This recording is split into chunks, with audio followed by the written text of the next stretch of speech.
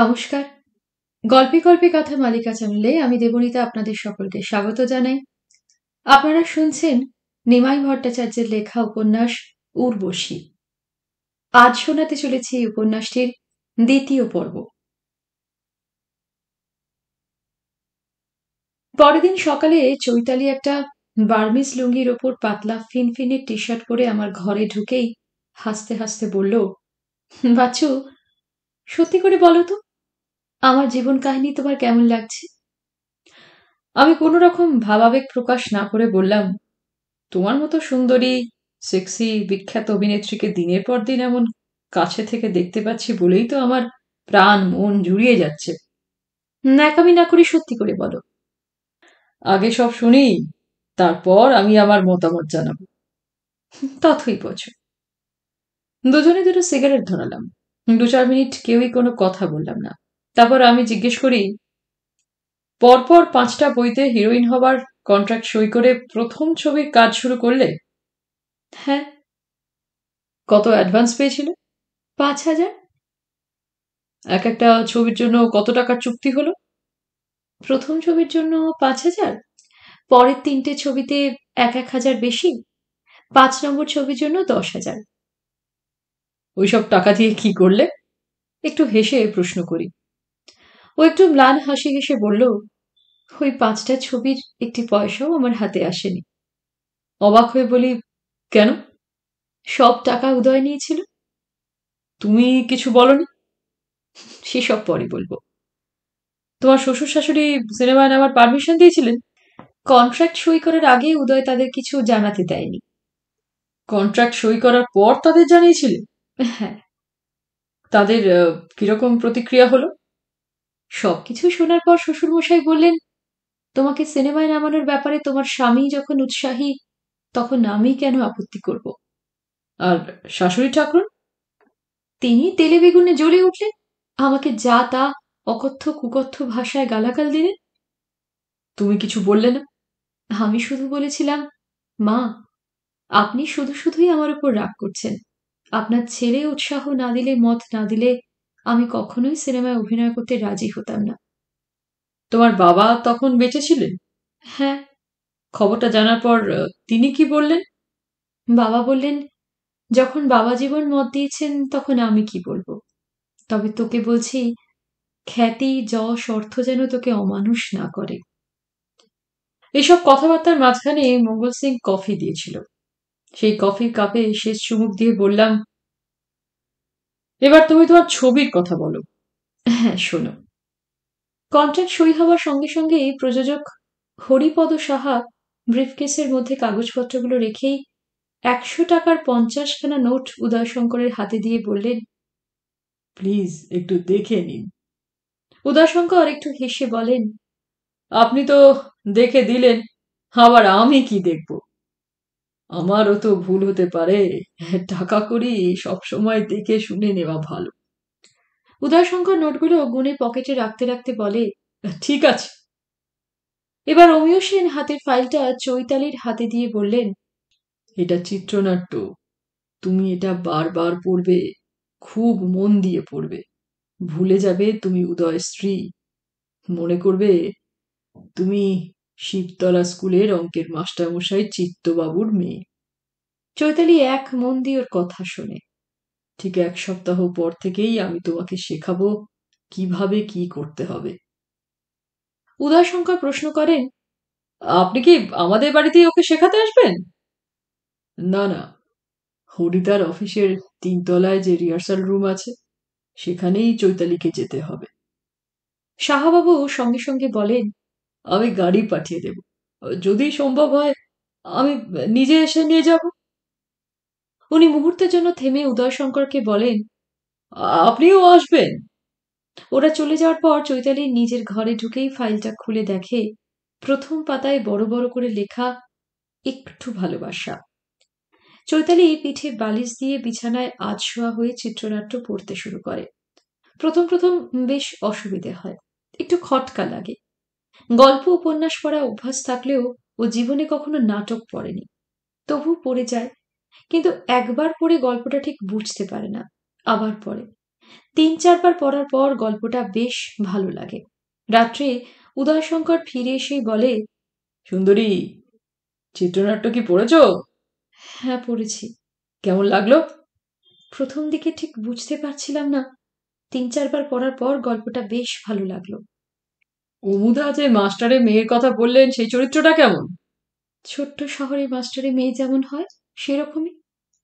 আর নায়ক? চৈতালি একটু হেসে জবাব দেয় ওই মাস্টার মশাইরই এক ছাত্র। দিনের পর দিন চিত্রনাট্য পড়তে পড়তে চৈতালির হঠাৎ মনে পড়ে বড় জ্যাঠার কথা তার ছাত্রদের কথা। মনে পড়ে অপুদার কথাও। শিবতলা স্কুলের অঙ্কের মাস্টার চিত্তবাবু তো বড় জ্যাঠার মতো ছাত্রদের ঠিক সন্তানের মতোই স্নেহ করতেন। অঙ্কের ব্যাপারে কোনো ভুল ত্রুটি হয় না, কিন্তু সংসারের অঙ্কশাস্ত্রে কি ভুলই করলেন? এক সপ্তাহ পর সাহাবাবুর গাড়ি এলো। স্বামীর সঙ্গে চৈতালি গেল সাহাবাবুর ধর্মতলার অফিসে। প্রযোজক আর পরিচালক তাদের অভ্যর্থনা করলেন। চাটা খেতে খেতে একটু আধটু গল্প গুজব হলো। তারপরেই অমিয় সেন উঠে দাঁড়িয়েই বললেন চৈতালি চলো আমার ঘরে। উনি উদয়শঙ্করকে বললেন, তুই এখানেই হরিদার সঙ্গে গল্প গুজব কর। প্রযোজক মশাই সঙ্গে সঙ্গে বললেন হ্যাঁ হ্যাঁ উনি আমার কাছেই আছেন, আপনি যান। ঘণ্টা দেড়েক পর অমিয়বাবু চৈতালিকে নিয়ে সাহাবাবুর ঘরে ঢুকেই উদয়শঙ্করকে বললেন, অন্তত সাত দশ দিন শুধু চৈতালিকেই আমি আলাদা করে দেখিয়ে দেব। তারপর অন্য আর্টিস্টদের সঙ্গে কবে রিহার্সাল হবে তা পরে বলব। সাহাবাবু চৈতালির দিকে তাকিয়ে একটু হেসে বললেন প্রথম দিন রিহার্সাল দিয়ে কি মনে হচ্ছে? চৈতালি একটু হেসে জবাব দেয় খুব ইন্টারেস্টিং হ্যাঁ একশো বার ইন্টারেস্টিং ইন্টারেস্টিং না হলে কি সারা পৃথিবীতে সিনেমা এত পপুলার হতো? এইভাবে দু তিন দিন চলার পরেই চৈতালিকে নিয়ে তিনতলার রিহার্সাল রুমে যাওয়ার জন্য পা বাড়িয়েই অমিয়বাবু থমকে দাঁড়িয়ে পিছন ফিরে বললেন হ্যাঁ রে উদয় এখন তো অফিসে কেউ নেই। তুই ইচ্ছে করলে হরিদার সঙ্গে গল্প করতে করতে দু এক পেক খেতে পারিস। সাহাবাবু সঙ্গে সঙ্গে অমিবাবুর দিকে তাকিয়ে বলেন উদয়বাবু যে আমাদের দলের লোক তা তো আগে বলবে। উনি শুধু শুধু এ কদিন বৈধব্য পালন করলেন। উদয়শঙ্কর ওদের কথা শুনে হাসে। অমিয়বাবু রিহার্সাল রুমে যাওয়ার জন্য পা বাড়িয়ে বলেন উদয় খানদানি জমিদার বাড়ির ছেলে। ওদের কৃপাতেই তো আমাদের মতো প্রজারা এইসব সদ্গুণের অধিকারী হয়েছে। না, রিহার্সালের পরে উদয়শঙ্কর স্ত্রীকে নিয়ে বাড়ি যায় না। সাহাবাবু আর উমুদার সঙ্গে আড্ডা দেয়, হুইস্কি খায়, চৈতালি চা কফি খায়। ওদের কথা শুনে মাঝে মধ্যে দু একটা কথা বলে। দশ দিন পর চৈতালিকে নিয়ে রিহার্সাল রুম থেকে এসেই অমিয় সেন হাসতে হাসতে প্রযোজককে বলেন, হরিদা বাজি লড়বেন? কিসের জন্য বাজি লড়ব? আমি বাজি রেখে বলতে পারি, চৈতালির জন্যই এই ছবি হিট করবে। হরিবাবু অবাক হয়ে বলেন, এখনও অন্য আর্টিস্টদের সঙ্গে রিহার্সাল হলো না, শুটিং হলো না তবু আপনি বলছেন প্রযোজককে কথাটা শেষ করতে না দিয়েই উনি বলেন, হরিদা, দয়া করে ভুলে যাবেন না, আমার নাম অমিয় সেন হরিবাবু জীব কামড়ে বলেন ছি ছি, তা বলবেন না। আপনি যে কত গুণী মানুষ, তা কি আমি জানি না? সে কথা জানি বলেই আপনার প্রতিটি কথা আমি মেনে চলি। অমিয়বাবু একগাল হাসি হেসে হরিবাবুর সঙ্গে করমর্দন করে বললেন আই নো দ্যাট হরিদা। অমিবাবু গ্লাসে হুইস্কি ঢেলে দিয়েই হরিবাবু বললেন, তবে আমি কথা দিচ্ছি। যদি এই নতুন ম্যাডামের জন্য একটু ভালোবাসা হিট করে, তবে আপনাদের দুজনকেই পাঁচ হাজার টাকা করে প্রাইজ দেব। সঙ্গে সঙ্গে গ্লাস তুলে বললেন চিয়ার্স আমি একটু চুপ করে থাকার পর জিজ্ঞেস করি, প্রথম দিন শুটিং করতে ভয় করেনি? সেদিন বাড়ি থেকে বেরোবার সময় মন দমে গিয়েছিল। কেন? স্টুডিও রওনা হওয়ার আগে শ্বশুর মশাইকে প্রণাম করতেই উনি আমার মাথায় হাত দিয়ে বললেন, জয়ী হও মা। শাশুড়িকে প্রণাম করতেই উনি বললেন, যাও, নটি বিনোদিনী, যাও। আমাকে আর পেন নাম করতে হবে না। চৈতালি দুটো চোয়াল শক্ত করে আমার দিকে তাকিয়ে বলল, বিশ্বাস করে পাচ্ছ আমি চোখের জল ফেলতে ফেলতে গাড়িতে উঠেই মন প্রাণ দিয়ে মা কালীকে বলেছিলাম, মা, আমি যেন এই ভদ্রমহিলার অহংকার আর অপমানের জবাব দিতে পারি। আমি একটু হেসে বলি, সে শুভদিন তোমার জীবনে এসেছিল? ও একটু মুচকে হেসে বলে, সে শুভদিন শুধু একদিন আসেনি, মাসের পর মাস বছরের পর বছর এসেছে। ওই অহংকারী মহিলা এখনও আমার মাসোহারার উপরে নির্ভর করে বেঁচে আছেন। বলো কি? হ্যাঁ বাচ্চু সত্যি কথাই বলছি। দেখো বাচ্চু আমি তোমার মতো লেখাপড়াও করিনি তোমার মতো জার্নালিস্টও না। তোমার মতো দেশ বিদেশের রাজা উজিরও দেখিনি মানুষও দেখিনি। তবু সামান্য অভিনেত্রী হয়েও তো কম অভিজ্ঞতা হয়নি। সে তো একশো বার সত্যি। এই পৃথিবী সব সহ্য করে। কিন্তু বিনা কারণে মানুষকে অপমান করলে, তাচ্ছিল্য করলে, হেয় জ্ঞান করলে তা কখনোই সহ্য করে না। একদিন না একদিন চাকা ঘুরবেই। ঠিক বলেছ। নিছক অহংকার আর দম্ভের জন্যই তো পুরনো গ্রিক আর রোমান সাম্রাজ্য পর্যন্ত ধ্বংস হয়ে গেল। ও সিগারেট ধরিয়ে একটা টান দিয়ে বলে, সেই প্রথম শুটিং করার দিন থেকে ফ্লোরে ঢোকার আগে আমি ফ্লোরের মাটি ছুঁয়ে প্রণাম করি। তখনকার দিনের এক বিখ্যাত অভিনেত্রী তাই দেখে এক প্রবীণ অভিনেতাকে বললেন, দেখো দেখো, ছুরিটার ন্যাকামি দেখো। ও কি ভেবেছে, স্টুডিও কালীঘাটের মন্দির? ওই অভিনেতা কিছু বললেন না? উনি বললেন, মেয়েটা যদি প্রণাম করে মনের শান্তি পায় তো তোমার রাগ করার কি আছে? তুমি এইটুকু মেয়েকে হিংসে করো না। শুনে আমি হাসি। চৈতালি একটু হেসে বলে এর পরদিন থেকে ওই অভিনেতাকে আমি যখন যেখানে দেখেছি, তখনই প্রণাম করেছি। উনি আমাকে মা বলে ডাকতেন বলে আমি ওকে বাবা বলে ডাকতাম। আর ওই বিখ্যাত অভিনেত্রী? উনি সিনেমায় নামার পরদিন থেকেই বোধহয় একজন না একজনের রক্ষিতা হয়ে জীবন কাটাতেন। তারপর যখন রূপ যৌবন চলে গেল, মধু ফুরিয়ে গেছে বলে বাহুরা ওকে ত্যাগ করলেন, ছবির কাজ বন্ধ হয়ে গেল, তখন একদিন উনি আমার হালিপুরের বাড়িতে এসে হাজির। সেদিন রবিবার। সকালবেলায় ডজন খানেক প্রযোজক আর পরিচালক এসেছিলেন নতুন ছবির প্রস্তাব নিয়ে। তাদের বিদায় করতে করতে এগারোটা বেজে গেল। তারপর চৈতালি লিভিং রুমের ডিভানে শুয়ে শুয়ে একটা চিত্রনাট্য করছিল। হঠাৎ শেফালি এসে পাশে দাঁড়াতেই চৈতালি বেশ বিরক্ত হয়ে বলে, দেখছিস না আমি স্ক্রিপ্ট করছি? যার টেলিফোনই আসুক, আমি এখন কথা বলতে পারব না। না দিদি টেলিফোন না। তবে দারোয়ান এসে খবর দিল, কি এক মায়া দেবী এসেছেন? উনি নাকি সিনেমা করতেন, খুব জরুরি দরকার। তিরিং করে লাফ দিয়ে উঠে বসেই চৈতালি বলে, তুই নিচে যা তো। যদি দেখিস ওই মহিলার বাদিকের গালে একটা বেশ বড় তিল আছে, তাহলে উপরে নিয়ে আসিস। তা না হলে দারোয়ান যেন ঢুকতে না দেয়। কয়েক মিনিট পর শেফালির পিছন পিছন মায়াদেবী ঘরে ঢুকতেই চৈতালি তাড়াতাড়ি এগিয়ে যায়। প্রণাম করে। বলে, দিদি এই কি চেহারা তোমার? আর ভাই বলো না, বড়ই দুঃখ কষ্টে আছি। শেফালিকে পাশে দাঁড়িয়ে থাকতে দেখেই চৈতালি বেশ বিরক্ত হয়ে বলে, হাঁ করে দাঁড়িয়ে আছিস কেন? চাপাকে বল, তাড়াতাড়ি এক গ্লাস ফ্রুট জুস দিতে। শেফালি ঝড়ের বেগে ঘর থেকে বেরিয়ে যায়। কয়েক মিনিট পর নিজেই ফলের রসে গ্লাস ট্রের উপর বসিয়ে প্লেট দিয়ে ঢেকে নিয়ে মায়াদেবীর সামনে রাখে। চৈতালি বলে, দিদি, আগে গ্লাসে চুমুক দিন। মায়াদেবী এই গ্লাসে চুমুক দিতেই ও শেফালিকে বলে, দিদি, খেয়ে দিয়ে যাবেন। চাপা যেন ঠিক মতো রান্না বান্না করে। শেফালি খালি গ্লাস নিয়ে চলে যাবার পরই মায়াদেবী চারপাশে চোখ বুলিয়ে বলেন, দেখছি তুমি সত্যিই মহারানীর মতো আছো। দিদি, যে স্টুডিও ধুলোবালি ভর্তি ফ্লোরে দাঁড়িয়ে টিনের চালের নিচে কাজ করি, সবই ওই মন্দিরের কৃপায়। হ্যাঁ ভাই। তুমি সত্যি দেখিয়ে দিলে স্টুডিওকে মন্দির মনে করে কাজ করলে কি অসাধ্য সাধন করা যায়। দিদি, যে যেখানে কাজ করবে, সেই জায়গাকেই তো মন্দির মনে করা উচিত। মায়াদেবী একটা দীর্ঘশ্বাস ফেলে বলেন, কিন্তু আমরা তো মনে করতাম স্টুডিও হচ্ছে লুটপাট করে টাকা রোজগার আর ফুর্তি করার জায়গা। যাই হোক। চৈতালি অভাবনীয়ভাবে মায়াদেবীকে আদর আপ্যায়ন করে শেফালিকে বলে, আলমারি থেকে সপাঁচেক টাকা এনে দিদিকে দে, তারপর তুই নিজে আমার গাড়িতে দিদিকে পৌঁছে দিবি। শেফালির কাছ থেকে টাকাটা হাতে নিয়ে মায়াদেবী চৈতালির দুটো হাত জড়িয়ে ধরে বললেন, তুমি যে কি উপকার করলে তা বলে বোঝাতে পারব না। মায়াদেবী সেদিনের মতো বিদায় নিলেও আবার মাস তিনেক পর হাজির।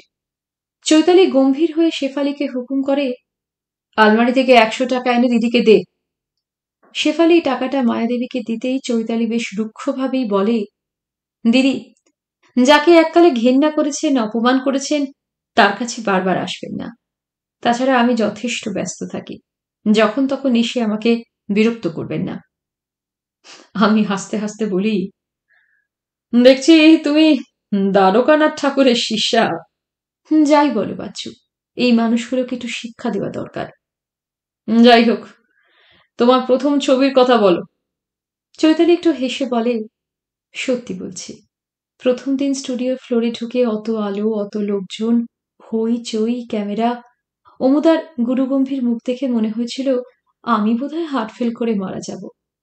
তারপর কি করলে? অমুদা আমার কানে কানে বললেন, এখানে যা দেখছ, যাদের দেখছ, সব ভুলে যাও। তুমি চিত্ত মাস্টারের মেয়ে মালা। এছাড়া তোমার কোনো পরিচয় নেই। অমুদা, কানু বন্দ্যোপাধ্যায়কে দেখিয়ে বললেন, তাছাড়া তুমি তো তোমার বাবার সঙ্গে কথাবার্তা বলবে। কোনো মেয়ে কি বাবার সঙ্গে সুখ দুঃখের কথা বলতে ভয় করে? আমি উদ্গ্রীব হয়ে ওর কথা শুনি। ও একটু হেসে বলল, পরপর দুবার মনিটর হবার পর অমুদা আবার কাছে এসে ফিসফিস করে বললেন, মালা, এবার ফাইনাল টেক হবে। আমি যেই বলব স্টার্ট সাউন্ড ক্যামেরা রোলিং ব্যাস। সঙ্গে সঙ্গে তুমি মা কালীর নাম করে আস্তে আস্তে বাবার কাছে এগিয়ে যাবে। চৈতালি হঠাৎ আমার একটা হাত ধরে এই কাঁদতে কাঁদতে বলল, বিশ্বাস করো বাচ্চু, অমুদার চিৎকার শোনার পর আমি মুহূর্তের জন্য চোখ বন্ধ করে মা কালীকে মনে করেই চোখ খুলে দেখি মা কালী ক্যামেরার পাশে দাঁড়িয়ে আমাকে কাছে ডাকছেন। চৈতালি থামে না, থামতে পারে না। শুধু তাই না আমি কানু তাকে দেখতে পেলাম না। দেখলাম আমার বড় জ্যাঠা শুয়ে আছেন। কথাগুলো বলতে বলতে ওর চোখ দিয়ে ঝরঝর করে জল গড়িয়ে পড়ে। তারপর বলে, সেদিন শুটিং এর পর সবাই আমাকে অভিনন্দন জানালেন।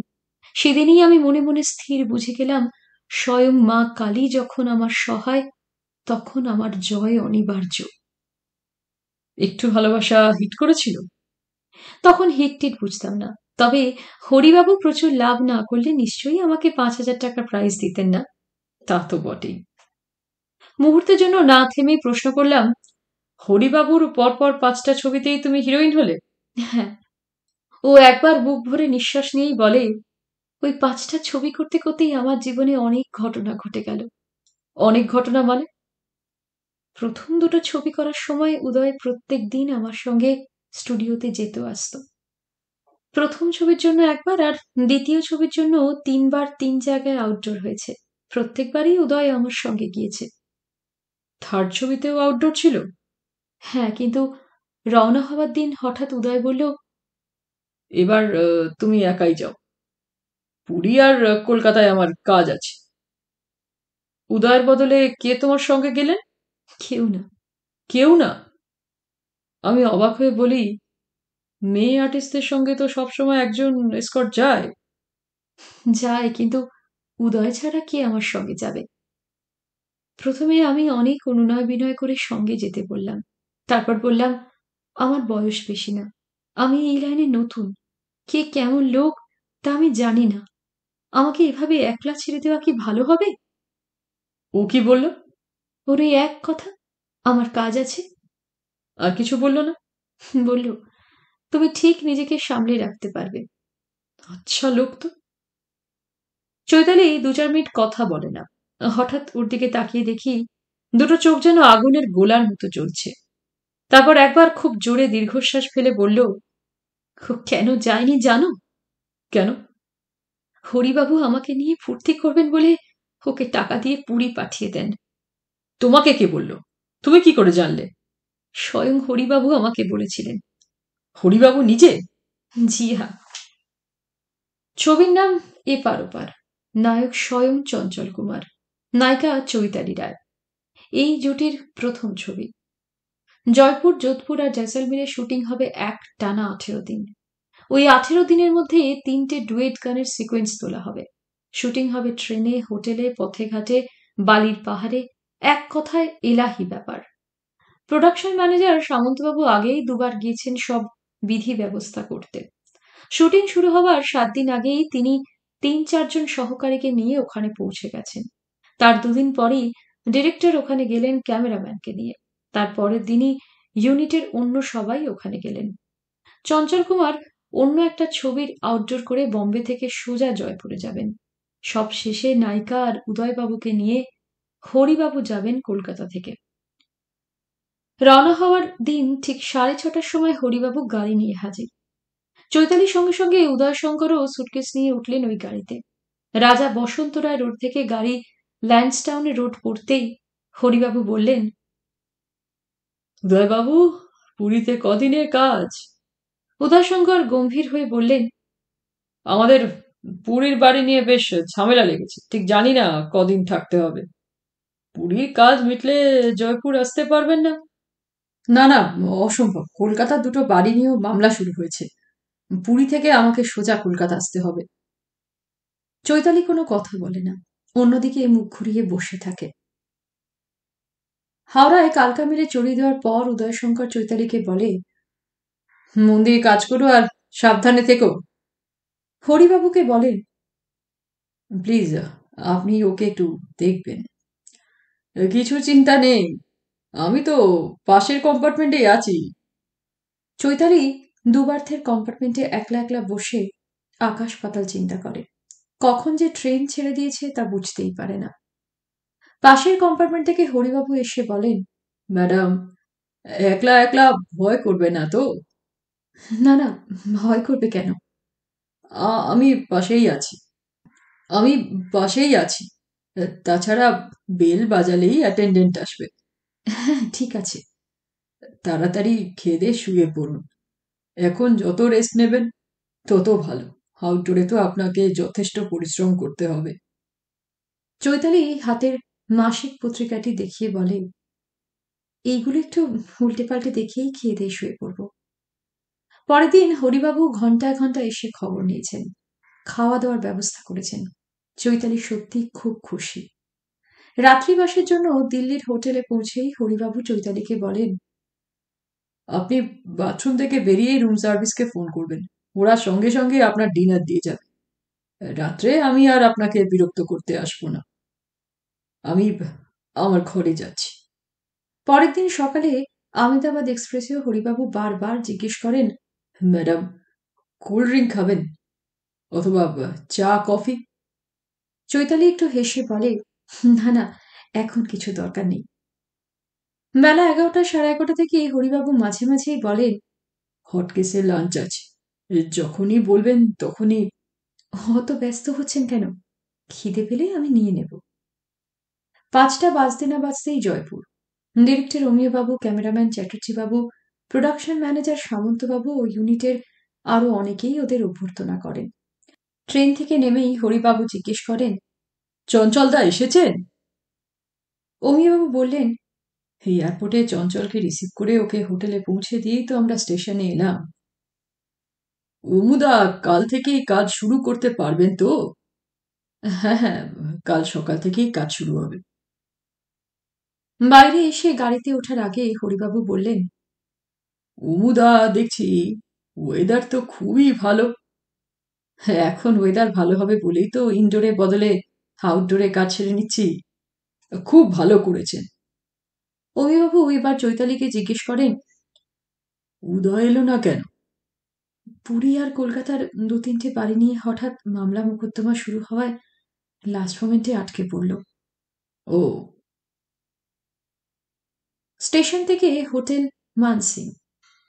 চৈতালিকে ঘরে পৌঁছে দিয়ে সামন্তবাবু বলেন, ম্যাডাম, ঘর পছন্দ হয়েছে তো?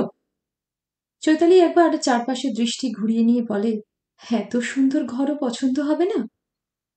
সামন্তবাবু ডান দিকের জানলা দেখিয়ে বলেন চঞ্চলদা ওই সামনের উইংয়ে ঠিক এইরকমই একটা ঘরে আছেন অমুদার হরিবাবুর ঘর কোথায়? অমুদা আছেন চঞ্চলদার পাশের ঘরে আর হরিবাবু আছেন আপনার উল্টো দিকের ঘরে। ও আচ্ছা। সন্ধে ঘুরে যাওয়ার পরপরই চৈতালির ঘরে টেলিফোন বেজে ওঠে। রিসিভার তুলেই বলে হ্যালো আমি চঞ্চল। কি করছ? কিচ্ছু করছি না।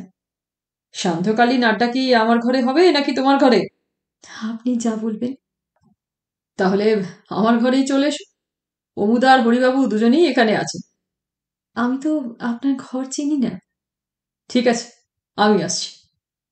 চৈতালি অবাক হয়ে বলে আপনি নিজে আসবেন? চঞ্চল কুমার একটু হেসে বলেন তুমি কি আমার কাছে এই সৌজন্যটুকু আশা করো না? না না তা না।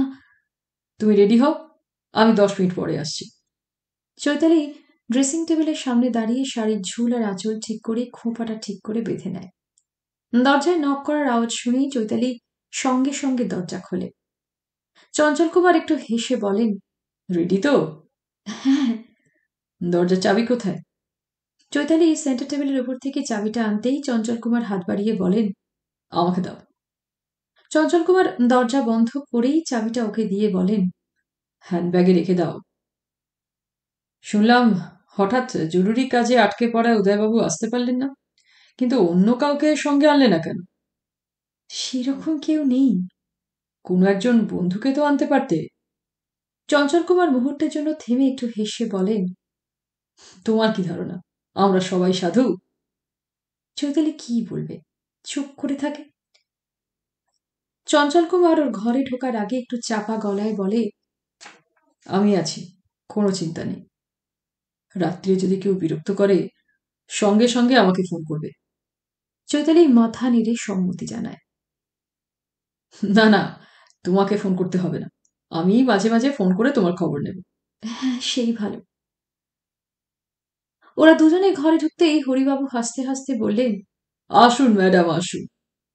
চৈতালি এগিয়ে যেতেই উনি বলেন, আঠেরো দিন তো চঞ্চলের পাশেই বসবেন, এখন আমার পাশে বসুন। চঞ্চল কুমার বললেন, যাও চৈতালি প্রডিউসারের পাশেই বসো।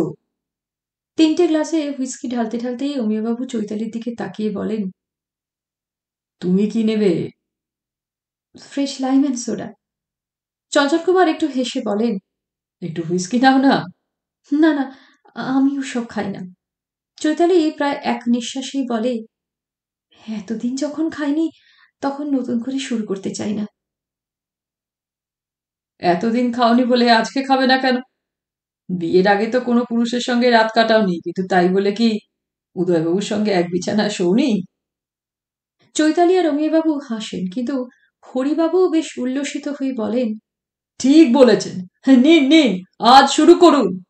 চঞ্চল কুমার হাসি চেপে বলেন, নায়ক নায়িকার কথার মাঝখানে আপনি ডায়ালগ ছাড়বেন না। চৈতালি একটা চাপা দীর্ঘশ্বাস ফেলে বলে প্রথম তিনটে দিন বেশ ভালোভাবে কেটে গেল। সকাল থেকে বিকেল পর্যন্ত শুটিং হয়। সন্ধ্যের পর আড্ডা দিতে দিতেই আমাদের খাওয়া দাওয়া হয়ে যায়। তারপর দিন অম্বর প্যালেসে শুটিং চলার সময় প্রোডাকশন ম্যানেজার এসে অমুদাকে বললেন, পুলিশ বলল নাইট শুটিং আজকেই করতে হবে। অন্যদিন ওদের অসুবিধে আছে। সারাদিন কাজ করার পর আবার তোমাকে নাইট শুটিং করতে আমাকে কথাটা শেষ করতে না দিয়েই ও বলল, না না, আমার না। শুধু চঞ্চলের কতগুলো শট ছিল জয়পুরে নানা জায়গায়। ও, যাই হোক, সেদিন লাঞ্চের পর শুটিং হলো না। সন্ধ্যের পরপরই চঞ্চলকে নিয়ে পুরো ইউনিট চলে গেল শুটিং করতে। হোটেলে রইলাম শুধু আমি আর হরিবাবু। দরজায় নক করার আওয়াজ শুনেই চৈতালি দরজা খুলে। হরিবাবুকে দেখেই বলে ও আপনি? ম্যাডাম, একলা একলা তো ড্রিঙ্ক করতে ভালো লাগে না। তাই আপনি যদি কাইন্ডলি আমার ঘরে আসেন, তাহলে সপ্তাহখানেক ধরে হরিবাবুকে দেখে চৈতালি কখনো খারাপ মনে হয়নি। তাইও বিন্দুমাত্র দ্বিধা না করে বলে, আপনি আমার ঘরে বসে ড্রিঙ্ক করুন। এখানে বসেই আমরা গল্প গুজব করব। ঠিক আছে। হরিবাবু একটা স্কচের বোতল নিয়ে চৈতালির ঘরে আসেন। নিজের গ্লাসে হুইস্কি ঢেলেই চৈতালির জন্য অ্যাপেল জুস ছাড়াও ফ্রাইড প্রন আর রোস্ট চিকেনের অর্ডার দেন। হরিবাবু ড্রিঙ্ক করেন। চৈতালি অ্যাপেল জুসের গ্লাসে চুমুক দেয়।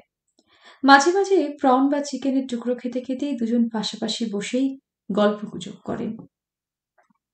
ঘণ্টা খানেকের মধ্যে চারপেক পেটে পড়ার পরই হরিবাবুর ডান হাত দিয়ে চৈতালিকে একটু কাছে টেনে নিয়ে বেশ জড়িয়ে বলেন যাই বলুন উদয় খুব বুদ্ধিমান ছেলে। চৈতালি ওর কথা বলার ধরন দেখে বুঝতে পারে ওর বেশ নেশা হয়েছে। Lovely young man. হরিবাবু আবার ঢকঢক করে আধ গ্লাস গলায় ঢেলেই বলেন তোমাকে প্রথম দিন দেখেই আমার জিভে জল এসে গিয়েছিল। চৈতালি বিরক্ত হয়ে নিজেকে ছাড়াবার চেষ্টা করেও পারে না। উল্টে হরিবাবু দুহাত দিয়ে ওকে জড়িয়ে ধরেন। চৈতালি বেশ রাগ করেই বলে আহ ছেড়ে দিন। দেখো খুকি যে লাইনে এসেছ সেখানে এসব ন্যাকামি করে কোনো লাভ নেই। হরিবাবু ওর মুখের ওপর মুখ রেখে বলেন সব ছুরি জানে ছোটখাটো রোল পেতে হলেও প্রডিউসারের সঙ্গে শুতে হয়। আর তোমাকে তো আমি এক লাফে হিরোইন করেছি। চৈতালি কাঁদতে কাঁদতে বলে প্লিজ আপনি আমাকে ছেড়ে দিন। আপনি বড্ড বেশি ড্রিঙ্ক করেছেন বলে অনেক কাজে বাজে কথা বলছেন। আমরা যাতে মাতাল হলেও তালে ঠিক থাকি। আজ তোমাকে আমার চাই চাই চাই। চৈতালি ঠাস করে গালে চড় মেরেই বলে অসভ্য জানোয়ার। কাকে কি বলছেন? এক মুহূর্তে হরিবাবুর নেশা ছুটে যায়।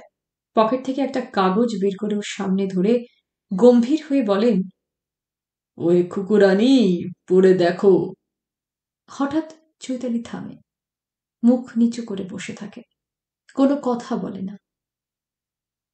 পাঁচ সাত মিনিট পর আমি জিজ্ঞেস করলাম ওই কাগজে কি লেখা ছিল? অমুক উঁচু করে আস্তে আস্তে বলে দেখলাম উদয়ের সই করা একটা রসিদ আর ছোট্ট একটা চিঠি। কোনো টাকা নেবার রসিদ? হ্যাঁ।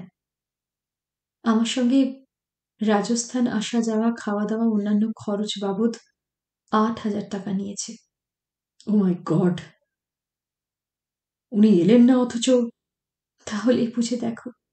ও ইচ্ছে করেই আমাকে হরিবাবুর খপ্পরে ছেড়ে দিয়েছিল। আর এই চিঠিতে কি লেখা ছিল?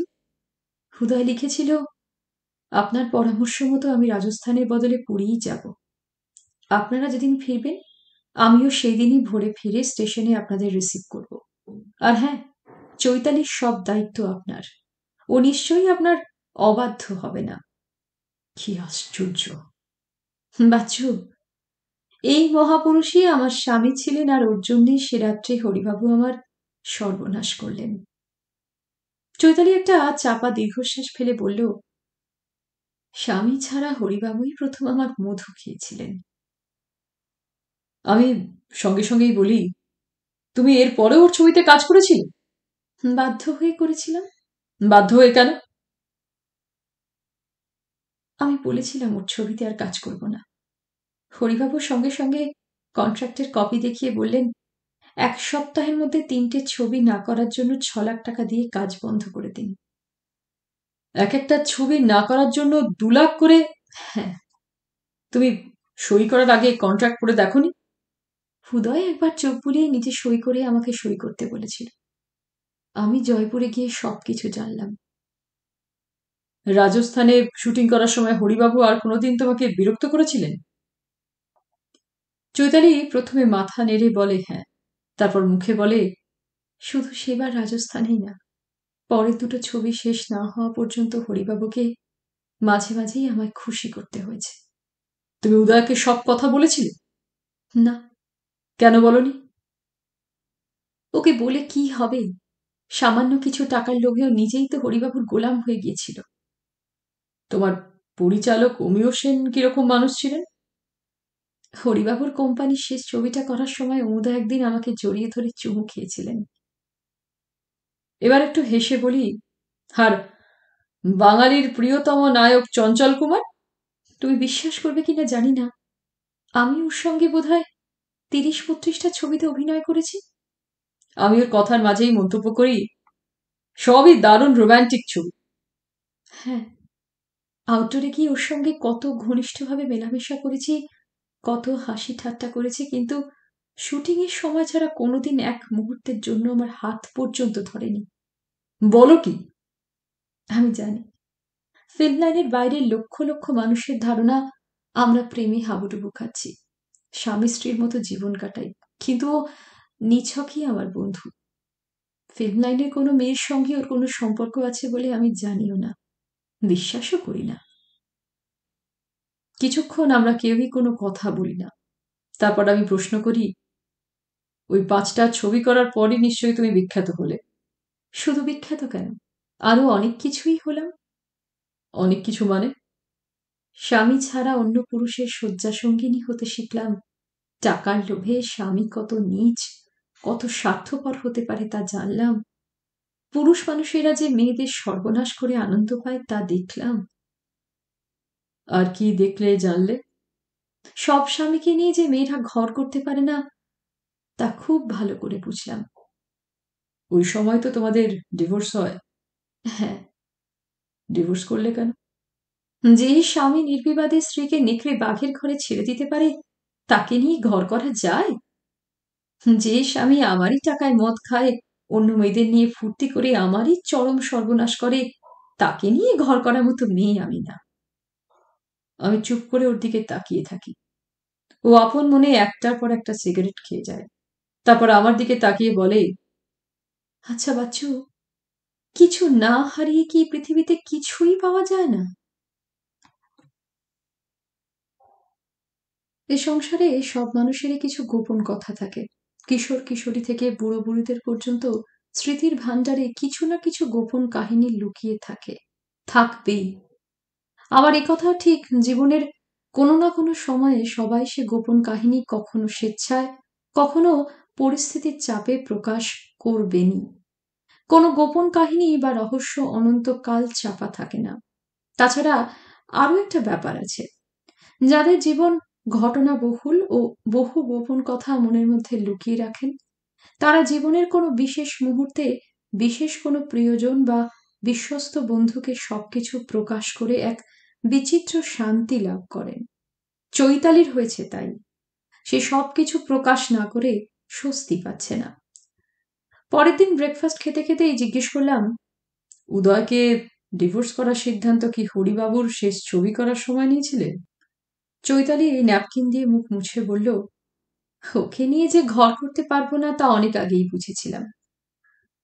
হরিবাবুর দ্বিতীয় ছবিটা করার সময় থেকেই ও আমার সঙ্গে বড্ড দুর্ব্যবহার করতে শুরু করেছিল। যত দিন যাচ্ছিল, ও তত বেশি খারাপ ব্যবহার করছিল। তারপর এপার ওপার ছবির আউটডোর থেকে ফিরে আসার দু চার দিন পরেই একটা ঘটনা ঘটল। চৈতালি ড্রেসিং টেবিলের সামনে দাঁড়িয়ে দাঁড়িয়ে চুল আঁচড়াতে আঁচড়াতে বলে, উদয়, আমার ক্রিম আর ফেস পাউডার ফুরিয়ে গেছে। কাল মনে করে কিনে এনো। উদয় চুপ করে শুয়ে থাকে। কোনো কথা বলে না। আমি কি বললাম তা শুনেছ? না, এবারও উদয় কোনো জবাব দেয় না। চৈতালি অবাক হয়ে ওর কাছে এগিয়ে যায়। ওর মুখের সামনে মুখ নিয়ে একটু হেসে বলে, কি হলো? আমার কথার জবাব দিচ্ছ না যে? উদয় অত্যন্ত তাচ্ছিল্যের সঙ্গে ওকে একটু ধাক্কা দেয়, কিন্তু কোনো কথা বলে না। এত মেজাজ দেখাচ্ছ কেন? কি হয়েছে তোমার? একটা ক্রিম আর ফেস পাউডার আনতে বলে আমি কি এমন অপরাধ করলাম যে তোমার মেজাজ খারাপ হয়ে গেল? আর ক্রিম মাখতে হবে না। কেন? ক্রিম না মাখলেও অনেক মৌমাছি তোমার চারপাশে ভনভন করবে। চৈতালি অত্যন্ত বিরক্ত হয়ে বলে, তার মানে? ন্যাকামি করো না। যা বলছি খুবই বুঝতে পারছ। আমার চারপাশে মৌমাছি ভনভন করে না। আর যদি করে, তার জন্য আমি দায়ী না। তুমি দায়ী। উদয় এক লাভ দিয়ে নেমে এসে ওর গালে ঠাস করে এক চড় মেরে বলে, হরমজাদি, আমি দায়ী? চৈতালি সিগারেটে লম্বা টান দিয়ে বলল সেদিনই আমি বুঝতে পারি। উদয়কে নিয়ে ঘর করা সম্ভব হবে না। ওই ঘটনার পর তুমি তোমার বাবার কাছে চলে গেলে না কেন? প্রথমত বাবা তখন বেশ অসুস্থ। তাছাড়া একটা বিবাহিতা মেয়ে কতকাল বাপের বাড়িতে থাকতে পারে? তা ঠিক। যাই হোক, তবু কোনো মতে নিজেকে সংযত করে ওখানে থেকে গেলাম। ও হঠাৎ উত্তেজিত হয়ে বলে, বাচ্চু, তুমি ভাবতে পারবে না, শেষ দুটো বছর কীভাবে ও বাড়িতে কাটিয়েছি? স্বামী শাশুড়ি তো দূরের কথা। ঠাকুর চাকুররা আমার সঙ্গে কথা বলতো না। শুধু আরতি বলে একটা মেয়ে আমাকে খেতে দেওয়ার সময় দু একটা কথা বলতো। তোমার অপরাধ? আমি সিনেমায় নেমে ওই ফ্যামিলির মান, সম্মান ধুলে লুটিয়ে দিয়েছি? তুমি তো নিজে ইচ্ছে করে সিনেমায় নামুনি। চৈতালি একটু হেসে বলে, সে কথা একদিন বলেছিলাম বলে শাশুড়ি দয়া করে চাকর বাকরের সামনেই আমার গালে দু চারটে চর থাপ্পড় মেরেছিলেন। বলো কি? দেখো বাচ্চু, তুমি নিশ্চয়ই স্বীকার করবে মধ্যবিত্ত বাঙালি ঘরের মেয়েরা যেমন ভীতু, সেই রকমই কনজারভেটিভ হয়। তাদের সহ্যের সীমাও অসীম। ভয়ঙ্কর কিছু না ঘটলে এইসব মেয়েরা আত্মহত্যা বা বিদ্রোহ করতে পারে না। একটু চুপ করে থাকার পর জিজ্ঞেস করি ডিভোর্সের মামলা চলার সময় কি শ্বশুরবাড়িতেই ছিলে? না। প্রথম মাস দিনেক সুনন্দাদির বাড়ি ছিলাম। তারপর ঘুরে ফিরিয়ে আরও চার পাঁচজন বন্ধু বান্ধবের কাছে থেকেছি। একটু হেসে বলি, পুরুষ বন্ধুদের বাড়ি? হ্যাঁ একজন পুরুষ বন্ধুর বাড়িতেও কিছুদিন ছিলাম। ফিল্ম লাইনের বাইরের বন্ধু তো। আমার প্রশ্ন শুনে চৈতালি হেসে ওঠে, তারপর বলে ব্যস্ত হচ্ছ কেন? শেষ পর্যন্ত কবে ডিভোর্স পেলে? হরিবাবুর শেষ ছবি শেষ হবার ঠিক তিন মাস পরে। ডিভোর্স হওয়ার পর কোথায় থাকতে? কোর্ট থেকে সোজা চলে এলাম আলিপুরের বাড়িতে। আমি সঙ্গে সঙ্গে বলি, মিস্টার চাকলাদারের বাড়িতে? ও কয়েক মুহূর্ত আমার দিকে তাকিয়ে থাকার পর বলল হ্যাঁ। চাকলাদারের মতো একজন শিল্পপতির সঙ্গে তোমার বন্ধুত্ব হলো কীভাবে? এবার ওপার রিলিজ হওয়ার দিন সাথে পরের কথা। ইন্দ্রপুরীতে তোমাকে চাই শুটিং চলছে। হঠাৎ অমুদা আমার মেকআপ রুমে এসে হাজির। পরিচালক অমিয় সেন একগাল হেসে বললেন চৈতি তোমার জয় জয়কার। চৈতালি অবাক হয়ে বলে, তার মানে? পিএন চাকলাদারের নাম শুনেছ? না। সে কি, তুমি কি খবরের কাগজ পড়ো না? পড়ি, কিন্তু শুধু সিনেমার খবর। অমিয়বাবু চোখ দুটো বড় বড় করে বলেন, আমাদের দেশের একজন বিখ্যাত শিল্পপতি কত বড় বড় কলকারখানার যে মালিক, তা তুমি কল্পনা করতে পারবে না। নেহেরু বিধান রায় পর্যন্ত প্রায়ই ওর সঙ্গে পরামর্শ করেন। এতক্ষণ পরে চৈতালি বলে, তার মানে ভদ্রলোক নিশ্চয়ই খুব গুণী? এবার অমিবাবু একটু হেসে বলেন, অমন বিখ্যাত কোটিপতি হয়েও উনি নাটক, গান বাজনার ব্যাপারে ভীষণ উৎসাহী। এবার ওপারে তোমার অভিনয় দেখে উনি খুব খুশি হয়েছেন। সত্যি? বাইরে এসো, তাহলেই সব জানতে পারবে। চৈতালি পরিচালকের পিছন পিছন বাইরে এসে দেখে বিরাট একটা ক্যাডিলাক গাড়ির সামনে একজন সুদর্শন যুবক দাঁড়িয়ে। অমিবাবু বললেন, চৈতি, ইনি গৌতম রায় চৌধুরী মিস্টার চাকলাতারের পার্সোনাল সেক্রেটারি। গৌতমবাবু দুহাত জোর করে নমস্কার করেই বিশাল ফুলের তোড়াটা চৈতালির হাতে তুলে দিয়ে বলেন এপার ওপার ছবিতে আপনার অভিনয় মিস্টার চাকলাদারে খুব ভালো লেগেছে বলেই বুকে পাঠিয়েছেন।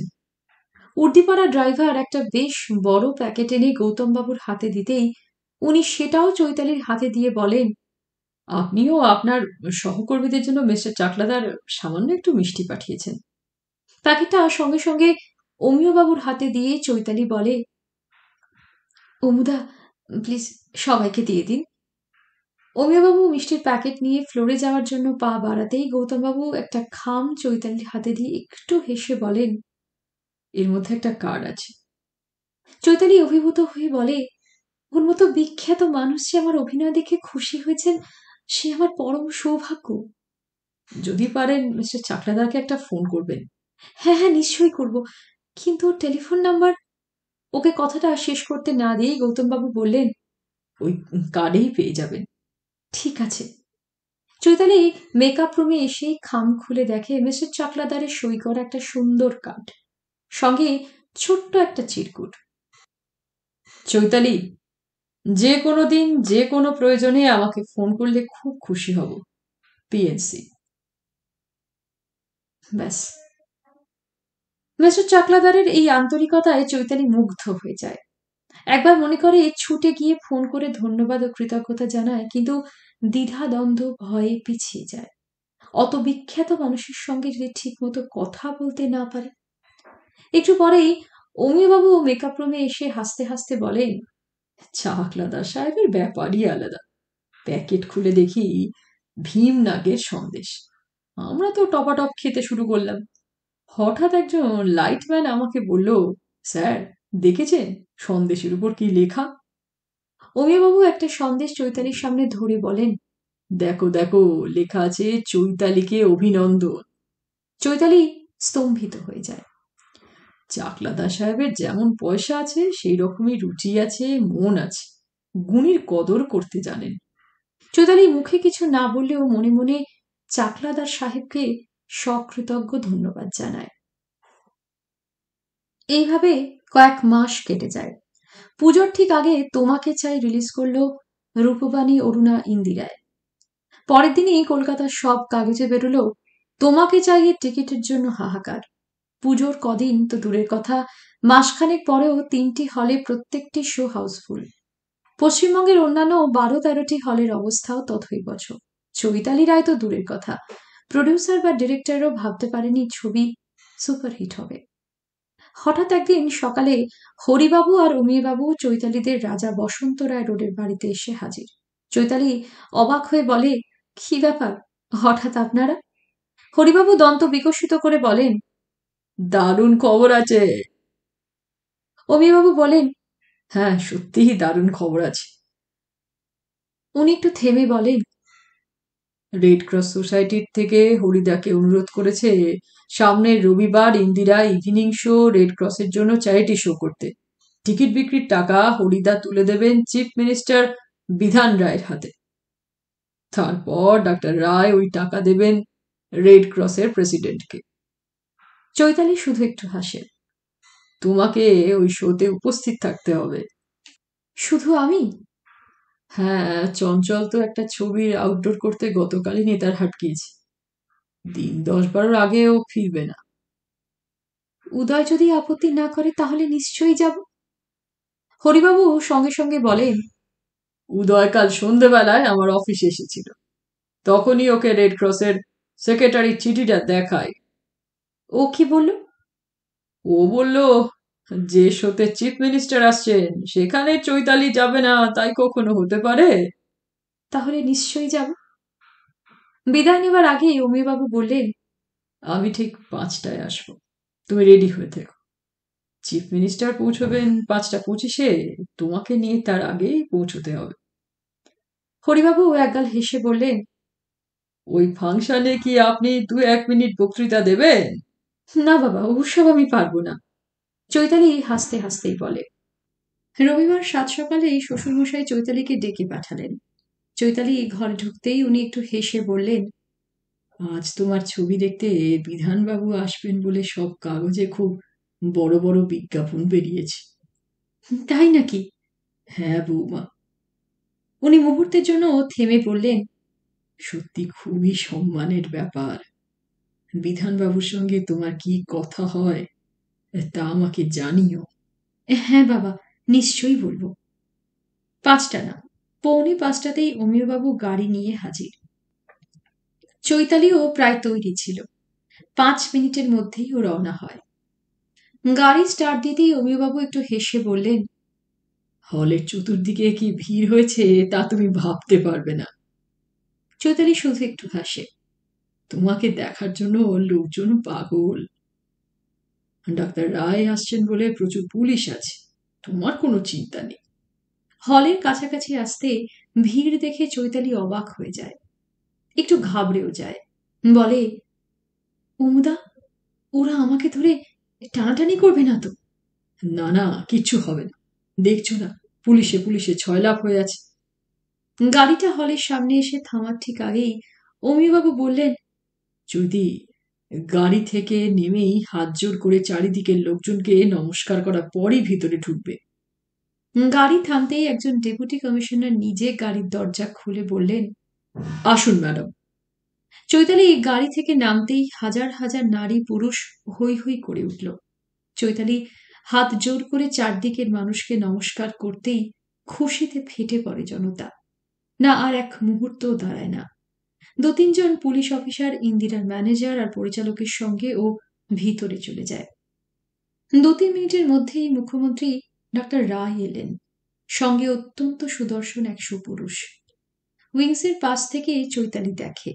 মুঝে চারটি চেয়ার। একেবারে ডান দিকে প্রযোজক, তারপর ডক্টর রায়, তার পাশে ওই সুদর্শন ভদ্রলোক। একেবারে বাঁদিকের চেয়ারটা খালি। ওরা তিনজন আসন গ্রহণ করতেই মঞ্চের পর্দা উঠল। চৈতালি মুখ্যমন্ত্রীর হাতে ফুলের স্তবক দিতেই হলের সমস্ত দর্শক হাততালি দিল। বাদিকের খালি চেয়ারে বসল চৈতালি। প্রতি মুহূর্তে জ্বলে উঠল অজস্র ফ্ল্যাশ বাল্ব। ডাক্তার রায় মাইকের সামনে দাঁড়িয়ে বললেন, সিনেমা থিয়েটার দেখার ইচ্ছেও হয় না, সময়ও পাই না। তবে আমি নিজে ডাক্তার, তাই রেড ক্রসের ব্যাপারে সবসময় উৎসাহী। তাছাড়া এখন তো রেড ক্রসের প্রেসিডেন্ট আমাদের অত্যন্ত স্নেহের পি এন চাকলাদার। তার কথা তো ফেলতে পারি না, তাই এসেছি। স্বয়ং মিস্টার চাকলাদার তার পাশে বসে আছেন বুঝতে পেরেই চৈতালি যেন চমকে ওঠে। ডাক্তার রায় বললেন, আমি বাড়ি থেকে রওনা হওয়ার একটু আগেই পুলিশ কমিশনার এসেছিলেন একটা জরুরি ব্যাপারে। তারপর উনি বললেন, টিকিটের দাম ডাবল হলেও হল ভর্তি হয়ে গেছে। আপনারা বেশি দাম দিয়ে টিকিট কিনে খুব ভালো কাজ করেছেন। চাকলাদার নিজের পকেট থেকে লক্ষ লক্ষ টাকা রেড ক্রসকে দেন, কিন্তু সাধারণ মানুষেরও তো কিছু দায়িত্ব আছে। মিস্টার চাকলাদার বললেন, আমরা দেখেছি চ্যারিটি শো করেই সবচাইতে বেশি টাকা তোলা যায়। তোমাকে চাই হিট করেছে জানতে পেরেই আমি আজকে চ্যারিটি শোয়ের উদ্যোগটা নিই। আজকের এই অনুষ্ঠানে চঞ্চল থাকলে খুবই ভালো হতো, কিন্তু এখানে নেই। তবে আমাদের সৌভাগ্য, বাংলা সিনেমার সর্বজনপ্রিয়া নায়িকা চৈতালি রায় এসেছেন। আমি নিজেও আপনাদের মতো চৈতালির ফ্যান এরপর হরিবাবু চ্যারিটি শোয়ে সংগৃহীত অর্থের চেক দিলেন ডাক্তার রায়কে। ও ডাক্তার রায় সে চেকটি দিলেন মিস্টার চাকলাদারের হাতে। চৈতালি স্বপ্নেও ভাবেনি মুখ্যমন্ত্রী ডাক্তার রায়ের মতো ব্যস্ত মানুষ পুরো ছবিটা দেখবেন। শুধু কি তাই? ওর একপাশে বসলেন ডাক্তার রায়, অন্যদিকে মিস্টার চাকলাদার। কত প্রেস ফটোগ্রাফার যে ওদের তিনজনের ওই ছবি তুললেন, তার ঠিক ঠিকানা নেই। ওদের ছবি তোলা শেষ হতেই শুরু হলো ছবি। চৈতালির বাঁদিকের হাতলে ডাক্তার রায়ের হাত, তাই ও ডান দিকের হাতলে হাত রাখে।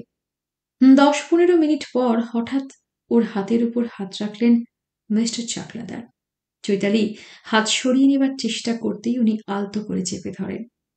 অত বিখ্যাত মানুষের হাতের ছোঁয়ায় ও একটু রোমাঞ্চিত না হয়ে পারে না, গর্ব অনুভব করে। ছবি শেষ হয়। রিপোর্টাররা ঘিরে ধরেন মুখ্যমন্ত্রীকে। কতদিন পর সিনেমা দেখলেন? বছর পাঁচেক আগেই তো সিনেমা দেখতে হয়েছিল। ওই যে বোম্বের রাজ কাপুর এসে ধরল এয়ারফোর্সের ওয়ার উইডোদের জন্য চ্যারিটি শোতে ওর ছবি দেখতে হবে। তাই যেতে হয়েছিল। তোমাকে চাই কেমন লাগল? আমি কি সিনেমার অত শত বুঝি? ডাক্তার রায় পাশ ফিরে চৈতালিকে বললেন, তুমি তো বেশ ভালো অভিনয় করো। কি করে যে তুমি এত ভালো অভিনয় করলে, তা তো আমার মাথায় ঢোকে না। পরের দিন স্টেটসম্যানের মতো কাগজেও প্রথম পাতায় ডাক্তার রায়ের সিনেমা দেখার ছবি, মাঝখানে চৈতালি রায়। তার বাঁদিকে ডাক্তার রায় ডান দিকে মিস্টার চাকলাদার।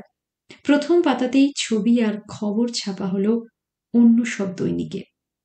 শ্বশুরমশাই চৈতালিকে বললেন, বৌমা, আজকের খবরের কাগজগুলো দেখে সত্যিই তোমার জন্য গর্ব হচ্ছে। বিধানবাবুর মতো মানুষ তোমার পাশে বসে তোমার ছবি দেখছেন, এ সত্যিই ভাবা যায় না। চৈতালি আমার দিকে তাকিয়ে হাসতে হাসতে বলল তারপর থেকে টুকটাক যোগাযোগ দেখাশোনা হওয়া শুরু হলো। আস্তে হাসতে বুঝতে পারলাম চাকলাদার আমার প্রেমে পড়েছেন। আর তুমি? আমার প্রশ্ন শুনে ও সঙ্গে সঙ্গে জবাব দিতে পারে না। আপন মনে কি যেন চিন্তা করে। পর পর দুটো সিগারেট খায়। তারপর বেশ তারপর বেশ গম্ভীর হয়ে বলে, দেখো বাচ্চু, অস্বীকার করব না চাকলাদারকেও আমার খুব ভালো লেগেছিল। ওই রূপ, ওই খ্যাতি, ঐশ্বর্য থাকা সত্ত্বেও কত সহজ, সরল হাসি খুশি ও মিশুকে ছিলেন। আমি একটু হেসে বলি পূর্বশী তুমি কিন্তু আমার প্রশ্নের জবাব দাও। হ্যাঁ তখন আমি নিশ্চয়ই প্রেমে পড়েছিলাম। হ্যাঁ এবার তুমি তোমার কথা বলে যাও। চৈতালি একটু চুপ করে থাকার পর বলে, তুমি আমার তখনকার মানসিক অবস্থা কল্পনা করতে পারবে না। একদিকে হু হু করে আমার জনপ্রিয়তা বাড়ছে। নতুন ছবিতে কন্ট্রাক্ট করাবার জন্য দলে দলে প্রডিউসাররা আসছেন। অন্যদিকে হরিবাবু তার খেয়াল খুশি মতো আমাকে উপভোগ করছেন আর তারই সঙ্গে সমান তালে চলছে উদয়ের অত্যাচার। তখন সেই পরিস্থিতিতে মনে হয়েছিল মিস্টার চাকলাদার নিশ্চয়ই আমার বিপদের দিনে পাশে দাঁড়াবেন। বিপদের দিনে ওকে পাশে পেয়েছিলে? হ্যাঁ পেয়েছিলাম। চৈতালি একটু থেমে বলে, হরিবাবুর শেষ ছবিটার কাজ শুরু হবার পরপরই একদিন মিস্টার চাকলাদারকে সব কথা খুলে বললাম। মিস্টার চাকলাদার দু এক মিনিট চুপ করে থাকার পর বললেন, তোমার সমস্যার কথাগুলো জানলাম, কিন্তু তুমি কি চাও তা তো বললে না। আমি চাই উদয়কে ডিভোর্স করতে। আর কি চাও? আর চাই অভিনয় করে খ্যাতি, যশ আর প্রচুর টাকা আয় করতে। নতুন ছবির জন্য নতুন কোনো চুক্তিতে সই করেছ? না। উদয় খুব চাপ দিচ্ছে দশ বারোটা নতুন ছবির জন্য সই করে বেশ কিছু অ্যাডভান্স নিতে। কিন্তু আমি রাজি হইনি। ভালো করেছ। হরিবাবুর এই ছবিটার কাজ আগে শেষ করো। তার আগে কারোর কাছ থেকে একটি পয়সাও নিও না। চৈতালি মাথা নেড়ে সম্মতি জানায়। মিস্টার চাকলাদার বলেন যে ছবির গল্প তোমার পছন্দ হবে ও যে পার্টি তোমাকে পঁচিশ হাজার টাকা দিতে রাজি, শুধু সেই ছবিগুলোর জন্যই তুমি চুক্তি করবে। এক লাভে পঁচিশ হাজার? দু পাঁচ হাজার বেশি চাইলে প্রডিউসাররা মনে করবে তুমি ঠিক অন্য অভিনেত্রীদের মতোই। তুমি সুন্দরী, তুমি ভালো অভিনয় করো, তোমাকে পাবলিক ভালোবাসে। সুতরাং যদি নিজের প্রেস্টিজ রাখতে চাও, তাহলে পঁচিশ হাজারের এক পয়সা কম নিয়ে তুমি ছবি করবে না। চৈতালি মন দিয়ে ওর কথা শোনে। পাঁচ দশ হাজার টাকায় দশটা ছবিতে অভিনয় করার চাইতে পঁচিশ হাজারের পাঁচটা ভালো ছবিতে কাজ করা অনেক ভালো। হ্যাঁ ঠিকই বলেছেন। ডিভোর্সের মামলার ব্যাপারে তোমার কোনো চিন্তা নেই। তুমি শুধু দু চারটে কাগজে সই করে দেবে। তারপর সবকিছু উকিলরাই করবেন। তোমাকে মাত্র একদিন কোর্টে যেতে হবে। চৈতালি একটা দীর্ঘশ্বাস ফেলে বলে আমি টেকনিশিয়ান স্টুডিওতে ছিলাম। গৌতম আর উকিলবাবু এসে খবর দিলেন ডিভোর্স পেয়েছি। সেদিন শুটিংয়ের পরই আমি সোজা আলিপুরের বাড়িতে চলে গেলাম। আমি একটু হেসে বলি, চাকলাদা সাহেব মাঝে মাঝে রিপোর্টারদের জন্য যে পার্টি দিতেন, তা তোমার মনে আছে? খুব মনে আছে। আমি সেই পার্টিতেই তোমাকে প্রথম দেখি। ও একগাল হেসে বলে, তুমিও সেই পার্টিতে যেতে? জি হ্যাঁ মেম সাহ একবার তোমার জন্মদিন উপলক্ষে উনি যে বিশাল পার্টি দিয়েছিলেন, তার কথা আমি কোনোদিন ভুলবো না। পিএন কোনো ছোটখাটো ব্যাপারই পছন্দ করতো না। তাছাড়া যেমন লক্ষ লক্ষ টাকা আয় করত, সেই রকমই খরচ করতেও পারত। হ্যাঁ তা আমি জানি। পিএনির কথা ভাবলে আমি যেমন অবাক হয়ে যাই, সেই রকমই দুঃখ হয়। কেন? শুধু নিজের ত্রুটির জন্য জীবনে কখনো সুখী হতে পারল না। দু এক মিনিট চুপ করে থাকার পর বলি, তুমি ওকে বিয়ে করলে না কেন? দেখো বাচ্চু, ওই কয়েক বছর সিনেমা লাইনে থেকেই আমি মনে মনে প্রতিজ্ঞা করেছিলাম, অন্যান্য অনেক অভিনেত্রী যেমন কোনো না কোনো লোকের রক্ষিতা হয়ে জীবন কাটিয়েছেন বা কাটাচ্ছেন, আমি কখনোই তা হতে পারব না। দ্বিতীয় সিদ্ধান্ত নিয়েছিলাম, আমি কোনো পুরুষের কৃপা প্রার্থী বা গোলাম হয়ে থাকব না। পুরুষরা যেন আমার কৃপা প্রার্থী হয়। পিএনকে বিয়ে করলে না কেন? প্রথম দিকেও আমাকে নিয়ে এত মাতামাতি করতো যে একবার মনে হয়েছিল বিয়ে করি। কিন্তু তারপর বুঝেছিলাম, বিয়ে করছি না বলেই ও আমাকে খুশি করার জন্য এত কিছু করছে। বিয়ে করলেই আমাকে গোলাম হয়ে থাকতে হবে। আলিপুরের বাড়িটা কি তুমি কিনেছিলে নাকি?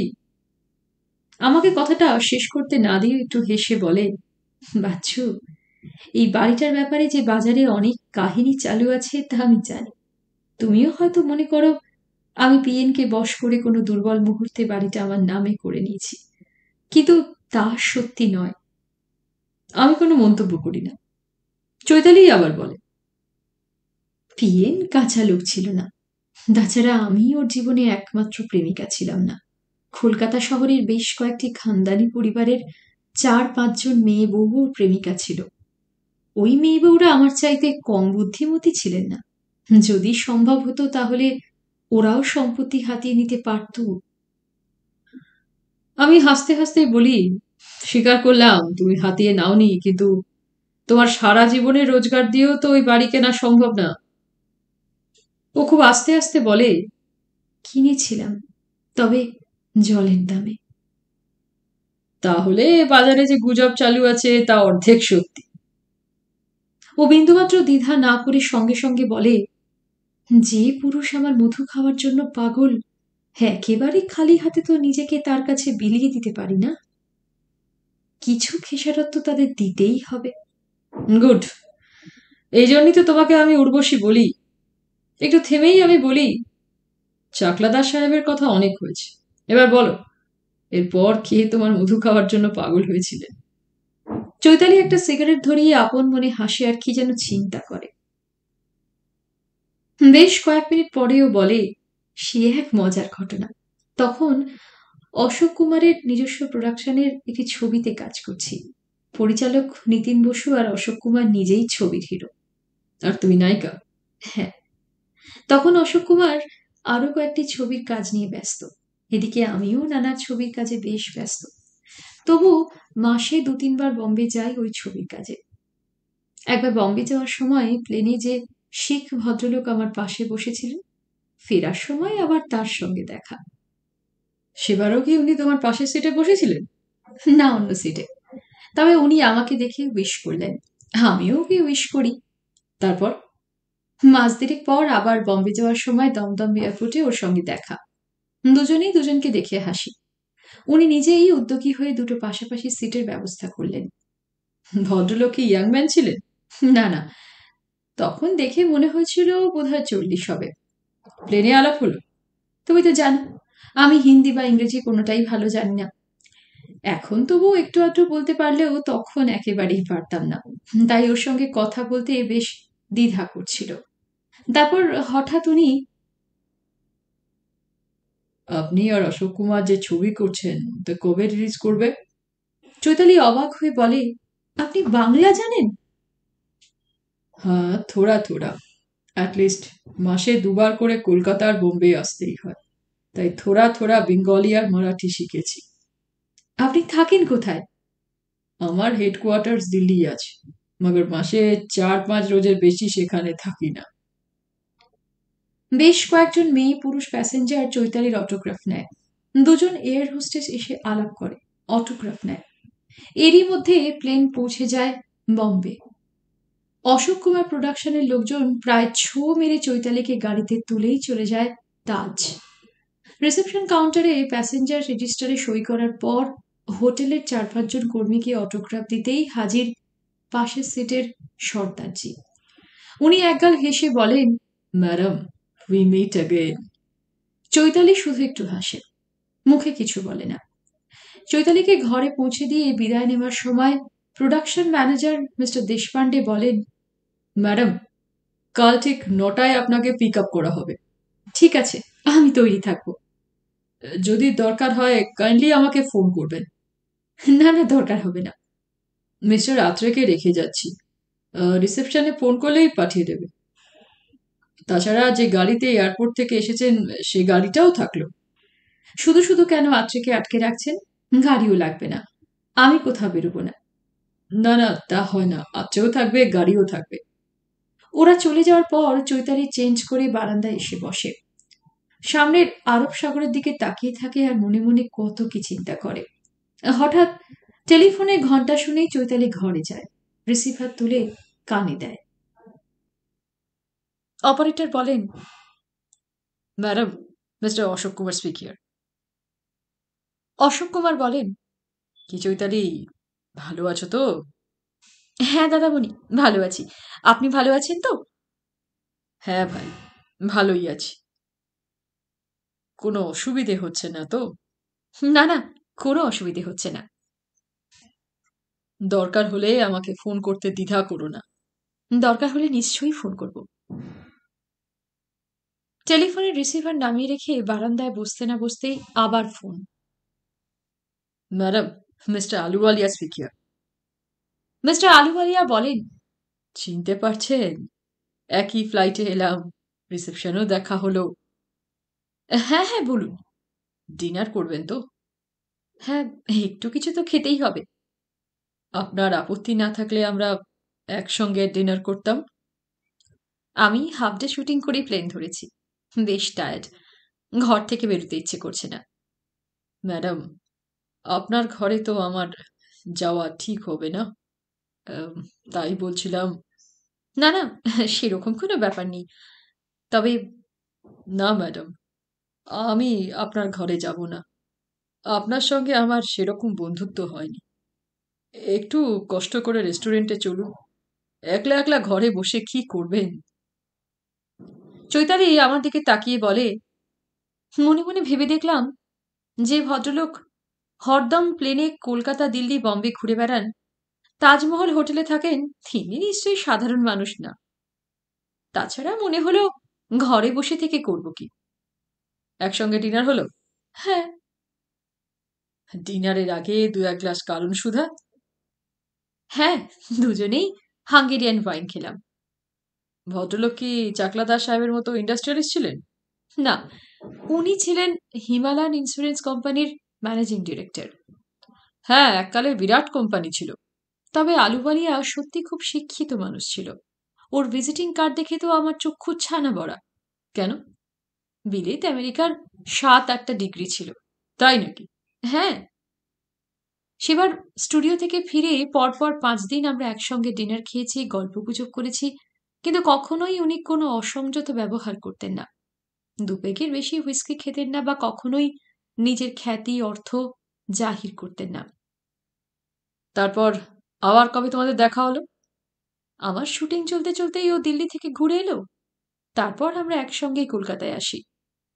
উনি তোমার বাড়িতে এসেছিলেন? হ্যাঁ আমি ওকে একদিন ডিনারে নেমন্তন্ন করি। উর্বশী, বলে যাও বলে যাও, থামছো কেন? না না, থামছি না। এক দেড় মাস অন্তর আমাদের দেখা হতো। কখনো আমার বাড়িতে ডিনারে আসতো, কখনো আমি গ্র্যান্ডে যেতাম ওর সঙ্গে ডিনার করতে। এইভাবে বছর খানেক কেটে গেল। চৈতালি প্রতিদিন শুটিং করতে করতে ক্লান্ত বোধ করে। তাই তো কয়েকদিন নিছক শুয়ে বসে কাটাবার জন্য চলে যায় শিলং। উঠে পাইনউড হোটেলে। ওই হোটেলে অপ্রত্যাশিতভাবে মিস্টার আলুওয়ালির সঙ্গে দেখা। My god, madam. আপনি এখানে? হ্যাঁ মাসের পর মাস প্রত্যেকদিন শুটিং করতে করতে ভীষণ টায়ার্ড হয়ে গেছি। তাই কদিন চুপচাপ বিশ্রাম করব বলে এখানে এসেছি। আপনি এখানে কেন? এখানে আমরা ব্রাঞ্চ অফিস খুলছি, তাই এসেছি। কদিন থাকবেন?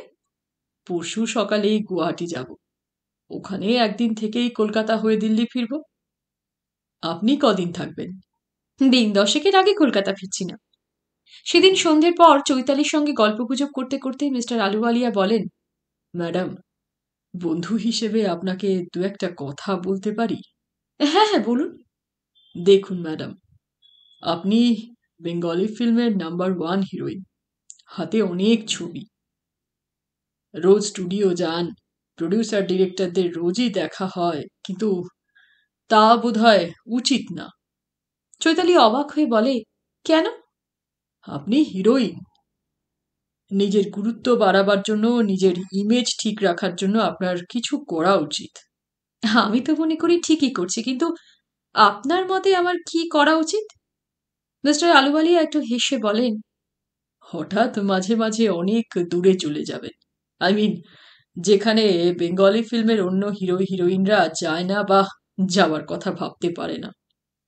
যেমন শিলংয়ের বদলে যদি আপনি সুইজারল্যান্ডে ছুটি কাটাতেন তাহলে দেখতেন বেঙ্গলি ফিল্ম সার্কেলে কত দাম বেড়ে গেছে। সবাই কত খাতির করছে চৈতালি একটু হেসে বলে তা ঠিক কিন্তু ওকে কথাটা আর শেষ করতে না দিয়ে মিস্টার আলুবালিয়া একটু হেসে বলেন আপনি যদি ইউরোপে যেতে চান প্লিজ আমাকে বলবেন। আপনাকে কিছু চিন্তা করতে হবে না। He will be my guest. Chaitali অবাক হয়ে ওর দিকে তাকায়। অবাক হচ্ছেন কেন? আমি সিরিয়াসলি কথাটা বলেছি। আপনার দু চার সপ্তাহের ইউরোপ সফর নিয়ে যখন কলকাতার পত্রপত্রিকায় ছবি বা রিপোর্ট ছাপা হবে, তখন বেঙ্গলি ফিল্ম সার্কেলে আপনার প্রেস্টিজ বেড়ে যেতে বাধ্য। কিন্তু আপনি আমার জন্য এত খরচ করবেন কেন? আমি কি আপনার বন্ধু না? হ্যাঁ নিশ্চয়ই। তাহলে প্লিজ খরচের কথা বলবেন না। আমি আমার ট্রাভেল এজেন্সিকে বলে দেব। ওরা আপনার সঙ্গে যোগাযোগ করে পাসপোর্ট ফর্ম সই করিয়ে নেবে। কিন্তু ফিল্ম লাইনে কেউ যেন কিছু জানতে না পারে। London, Paris, Geneva Zurich Frankfurt Rome Athens মুহূর্তের জন্য এইসব শহরের নাম মনে পড়তেই চৈতালি রোমাঞ্চিত হয়ে ওঠে। মনে মনে স্বীকার করে, ইউরোপ ঘুরে এলে প্রডিউসার ডিরেক্টর থেকে শুরু করে অভিনেতা, ক্যামেরাম্যান, সাউন্ড রেকর্ডিস্ট, সবাই ওকে একটু বেশি খাতির করতে বাধ্য হবেন। সাধারণ বাঙালি দর্শকেরা বুঝবে চৈতালি রায় অন্য ধরনের অভিনেত্রী। অন্য অভিনেতা, অভিনেত্রীদের মতো পুরী বা দার্জিলিংয়ে ছুটি কাটিয়েই খুশি থাকার পাত্রী না। তাছাড়া সবাই বুঝবে অন্যদের চাইতে ওর আয় অনেক বেশি। অনেক বেশি টাকা নিয়ে উনি ছবি করেন। হ্যাঁ হ্যাঁ এসব দরকার আছে বই কি হাজার হোক সিনেমা তো শো বিজনেস। চৈতালি এই গম্ভীর হয়ে বলল আলু আলিয়ার কথাটা আমার মনে ধরল। তাই তো মাস তিনেক পরে একদিন উড়ে গেলাম বম্বে। তারপর বম্বে থেকে আমরা দুজনে ইউরোপের পথে প্রথমে গেলাম কায়রো। উঠলাম নাইল নদীর পাড়ের নাইল হিলটনে পিরামিড স্ফিংস দেখেছিলে? নিশ্চয়ই। আলেকজান্ড্রিয়া গিয়েছিলে? না ওখানে যাবার সময় ছিল না। নাইট ক্লাবে গিয়েছিলে? হ্যাঁ গিয়েছি। আচ্ছা আচ্ছা শোনো। তারপর একে একে আমরা ঘুরেছি Athens Milan Rome Berlin Paris Geneva Zurich আর লন্ডন সব জায়গা ভালোভাবে ঘুরেছিলে? যেমন ভালোভাবে ঘুরেছি, ফিরেছি, সেরকম আরামে থেকেছি। শুধু কি আরামেই থেকেছো, নাকি আনন্দেও থেকেছো? ও, সভ্য কোথাকার। আরে বাপু, আলুবালিয়া তো সন্ন্যাসী ছিলেন না। তাছাড়া তোমার মতো সর্বনাশী উর্বশী রয়েছে সঙ্গে। হ্যাঁ আমরা আনন্দও করেছি। দেখো বাচ্চু, আমি দেবতা না রক্তমাংসের মানুষ। নিশ্চয়ই আমার কামনা বাসনা আছে। তাই তো যখন মন চেয়েছে আর পছন্দের মানুষকে কাছে পেয়েছি, তখন কেন আনন্দ করব না? তবে হরিবাবু ছাড়া আর কেউ জোর করে আমার মধু খেতে পারেনি, সাহসও করেনি। সেটা নিশ্চয়ই তোমার কৃতিত্ব। একটা সিগারেট ধরিয়ে একগাল ধোঁয়া ছেড়ে চৈতালি বলল আলুওয়ালিয়া ঠিকই বলেছিল। ইউরোপ ঘুরে আসার পর দেখি Cairo, London, Paris, Geneva, Berlin Rome আরও দু এক জায়গা থেকে আমার যে ছবিগুলো পাঠানো হয়েছিল, তা কলকাতার সব কাগজে ছাপা হয়েছে। সে তো হবে ওই পাবলিসিটি আমাকে খুব সাহায্য করেছিল। ছবির রেট আরও বাড়িয়ে দিলে। হ্যাঁ তিরিশ থেকে পঞ্চাশ করলাম, কিন্তু প্রডিউসাররা একটা শব্দ উচ্চারণ করল না। তোমাকে পঞ্চাশ হাজার দিয়েও যদি ওরা লাখ লাখ টাকা আয় করে, তাহলে আপত্তি করবে কেন? হিমালয়ান ইন্স্যুরেন্স কোম্পানি তো কলকাতাতেও বিরাট অফিস খুলেছিল। হ্যাঁ আমি তার উদ্বোধন করি।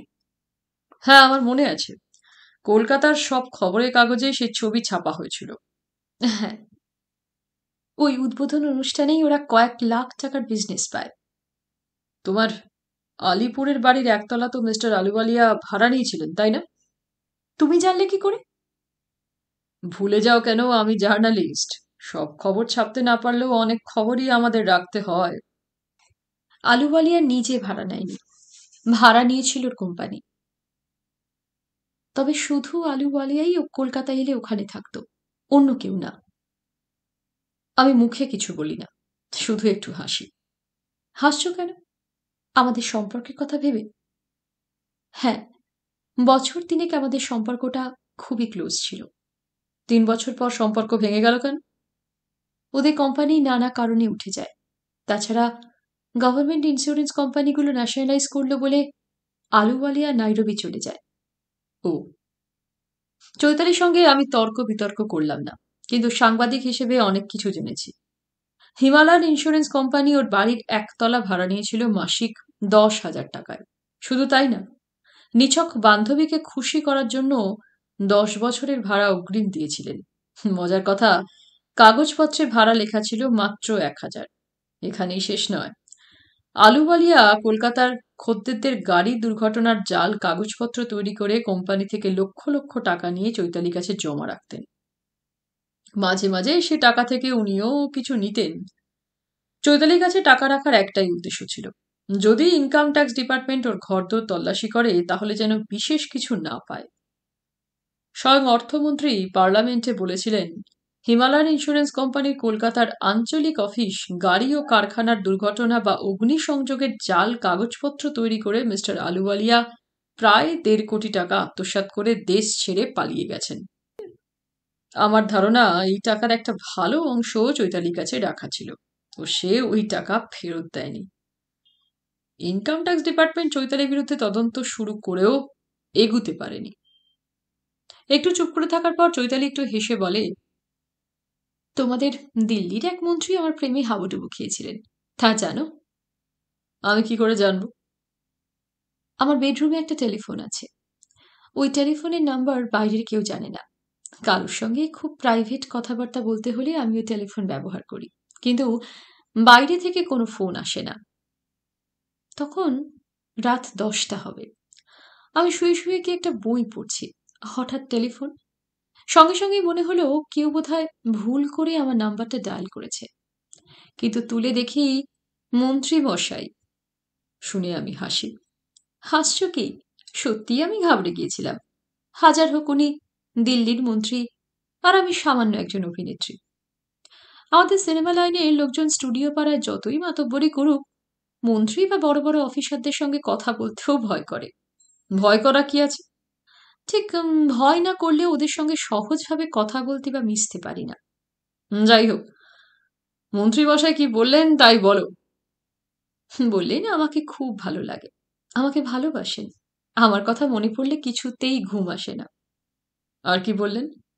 আমাকে না দেখে থাকতে পারছেন না? তুমি কি বললে? বললাম, এক্ষুনি চলে আসুন আমার বাড়িতে। এসেছিলেন? চৈতালি আমার একটা হাত চেপে ধরে বলে, তুমি ভাবতে পারো বাচ্চু, উনি ট্যাক্সি নিয়ে আমার বাড়িতে হাজির। আমি হাসতে হাসতে বলি, তোমার মতো ভূত যার ঘাড়ে চেপেছে, সে হাসি মুখেও গলায় দড়ি দিতে পারে। তোমার কর্মচারীরা ওকে দেখে নিশ্চয়ই চিনতে পেরেছিল। রাত নটায় আমার সব কাজের লোক চলে যায়। দারোয়ান তো থাকে, ও নেপালি, ও আর কজনকে চিনবে। মন্ত্রী মন্ত্রীমশাই এসে কি বললেন? উনি আমাকে দেখে কাছে পেয়ে যে কি পাগলামি শুরু করলেন তা ভাবতে পারবে না। আমি মুখ টিপে হাসতে হাসতে জিজ্ঞেস করি, সারা রাত ছিলেন? হ্যাঁ ছিলেন। মধুপান করেছিলেন? মধুপান করার জন্যই তো এসেছিলেন।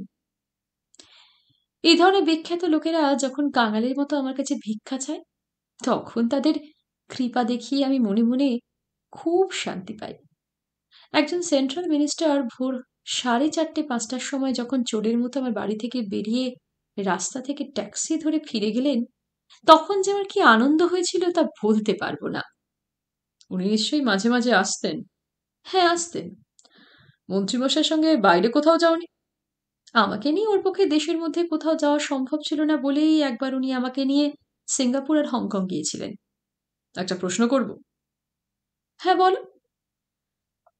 আলুওয়ালিয়া হঠাৎ দেশ ছেড়ে চলে যাওয়ার পর ওদের ইন্স্যুরেন্স কোম্পানির নানা গন্ডগোলের ব্যাপারে ইনকাম ট্যাক্স ডিপার্টমেন্ট বোধহয় তোমার পিছনেও লেগেছিল, কিন্তু আমার কথা শেষ হওয়ার আগেই চৈতালি গম্ভীর হয়ে বলে হ্যাঁ এই মন্ত্রীমশাইকে দিয়ে সে ঝামেলা মিটিয়েছিলাম। তুমি বলেছ, যারা তোমার ঘনিষ্ঠ হয়েছেন, মধু খেয়েছেন, তাদের বেশ কিছু খেসারাত দিতে হয়েছে। এই মন্ত্রীমশাইয়ের কাছ থেকেও খেসারাত আদায় করেছিল তো? ও একটু বিদ্রুপের হাসি হেসে বলে, আমি পেশাদারি অভিনেত্রী। টাকার বিনিময়ে হাসি, কাঁদি, প্রেম করি। এই মানুষগুলোর সঙ্গে শুধু প্রেমের অভিনয় করি না। নিজের দেহটাকেও দিতে হয়। সুতরাং সুদে আসলে আমি ফুসে নিই বই কি? আজকের মতো শেষ করলাম নিমাই ভট্টাচার্যের লেখা উর্বশী উপন্যাসটি। ভালো লাগলে লাইক করবেন। আমার চ্যানেলে অন্যান্য অনেক গল্প উপন্যাস রয়েছে। আপনারা আপনাদের পছন্দ মতো গল্প উপন্যাস চ্যানেল থেকে শুনতে পারেন। যদি আপনাদের আমার চ্যানেলটিকে ভালো লেগে থাকে, তাহলে অতি অবশ্যই লাইক করবেন শেয়ার করবেন এবং সাবস্ক্রাইব করবেন। ভালো থাকবেন, ধন্যবাদ।